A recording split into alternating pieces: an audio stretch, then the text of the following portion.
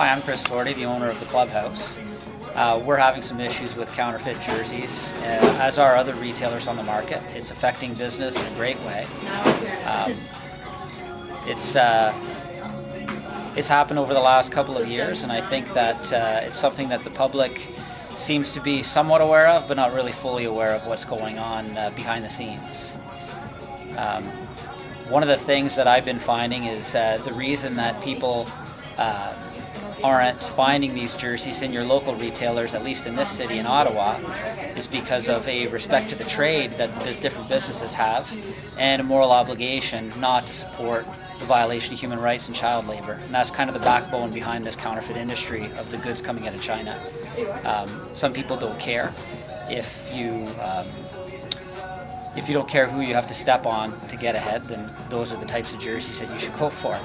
Uh, really what I'm finding in business is um, there's been a big shift uh, when it comes to the jersey market. Everything else in the business is solid. It's not the sports industry, it's the jerseys themselves that are really affecting uh, sales.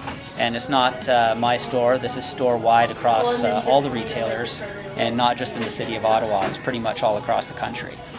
Um, one of the things that uh, that is the real key to tell how a jersey is a knockoff is rather than trying to look for markings, rather than trying to look for uh, stitching, there are a lot of details that you can tell, but um, really the old adage is you get what you pay for. If somebody tells you that they can get you something that other people are paying $130 for for $50, uh, then you know no matter how much you want to believe that it's real, it's not. And that's pretty much your safest bet to uh, tell what's a knockoff and what isn't. Okay, one of the hallmarks of the pro jersey is the uh, the tie down strap on the back. Usually the knockoff jerseys will have a smaller square than you'll see on this one. It'll be a cheaper version. This has got a nice thick tie down strap.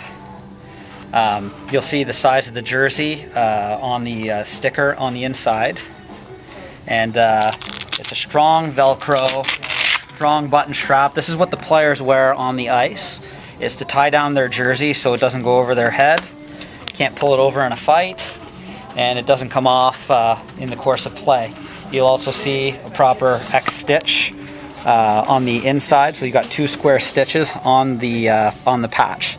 The other thing that you'll find as a difference is on a real pro stitch jersey, like the ones that we sell, uh, these are hand stitched and uh, the stitching on the inside is in through with both layers. On your general knockoff jersey, uh, you will see um, embroidery backing in the